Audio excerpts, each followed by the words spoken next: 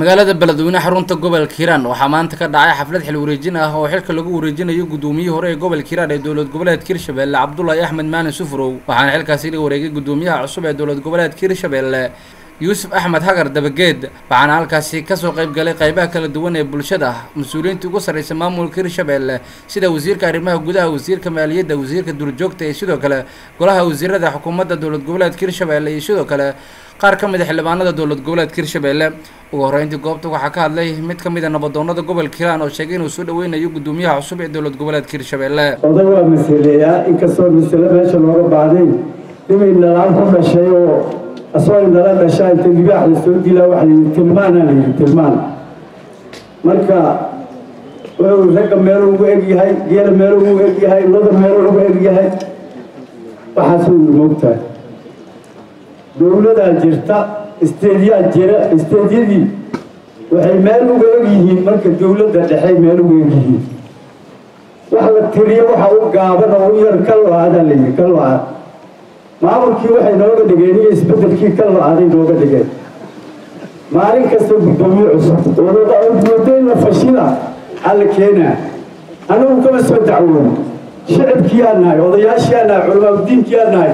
maamulkii kaloo ka hooseeyaa nahay intaan ka dacwoonay guddoomiyaha nidhi halala ka bedela dhibaan ku qabnaay ma jiro gudoomiyaha xilka laga wareejiyey ee dowlad goboleedka hirshabelle cabdulaahi axmed maalin sufrow ayaa sheegay inuu cafis ka dalbanayo bulshada reer hiiraan islamarkaana uu la soo shaqeeyey waxa uu sheegay inay la shaqeeyaan gudoomiyaha cusub. Waxauna hadalka ku soo dhaweeyey gudoomiyaha cusub ee dowlad goboleedka hirshabelle waxaanu xilka ku wareejiyey gudoomiyaha cusub ee dowlad goboleedka hirshabelle haddii si kala dhaqaal loo kobocsadana waa kaga horumaray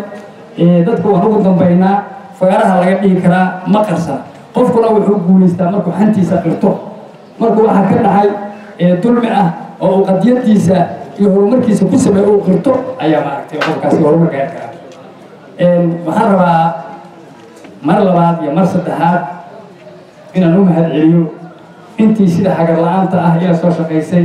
oo ugu horreeya maamulkayga heer gobol heer degmo.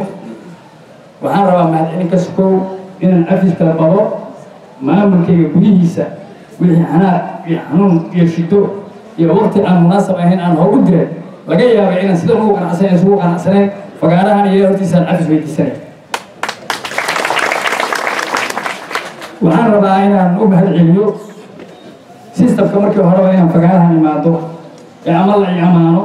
ama la caayo sababtuu ahaa ee uu hoggaanka u ahaa.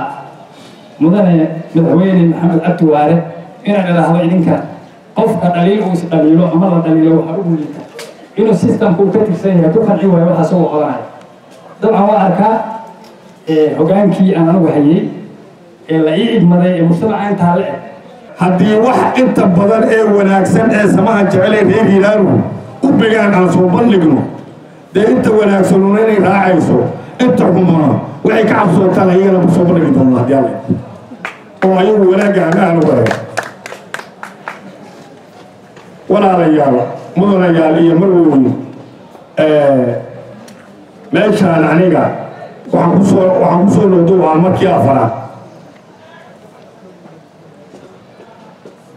ilaahay waxaan ka tuugayaa